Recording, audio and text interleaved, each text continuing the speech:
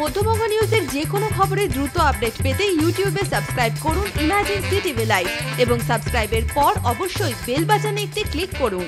বালি বোঝায় ডাম্পারের ধাক্কায় পিষে মৃত্যু হলো আঠেরো বছরের এক কিশোরের। শনিবার মুর্শিদাবাদের কান্দি বাসস্ট্যান্ড চত্বরে এই দুর্ঘটনা ঘটে। জানা যায় মৃতের নাম অষ্টম দাস, ঘাতক গাড়ির চালক পলাতক। বালিবোঝাই ডাম্পারের ধাক্কায় পিষে মৃত্যু হলো বছর আঠেরোর এক কিশোরের। শনিবার মুর্শিদাবাদের কান্দি বাসস্ট্যান্ড চত্বরে এই দুর্ঘটনাটি ঘটে।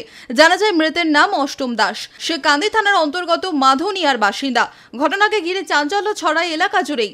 স্থানীয় সূত্রে জানা যায়, এদিন সাইকেলে করে বাস স্ট্যান্ডের দিকেই আসছিল ওই কিশোর। তখনই পেছন থেকে বালিবোঝাই ডাম্পার এসে ধাক্কা দিলে ঘটে এই অঘটন। ঘাতক গাড়ির চালক পালিয়ে যায়। গাড়িটা রং সাইডে চালিয়ে দিয়ে এবং চাপা চলে গেল এখানে বাস ড্রাইভারটা নেমে পালিয়ে গেল। গাড়িগুলো এত মানে লোটে যাচ্ছে গাড়িটা তো নিচের ব্রিজের অবস্থা খুবই খারাপ।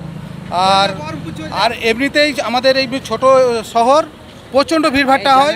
এই জামের জন্য অ্যাক্সিডেন্টও হয়েছে। কি চাইছেন এখন? এখন চাইছি যাহাতে জাম এটাকে ক্লিয়ার করতে হবে।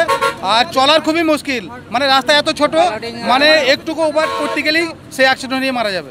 দেহ উদ্ধার করে নিয়ে যাওয়া হয়। অভিযোগ ওভারলোড আর ভুল দিক দিয়ে গাড়িটি যাওয়ার জন্যই অকালে প্রাণ গেল কিশোরের।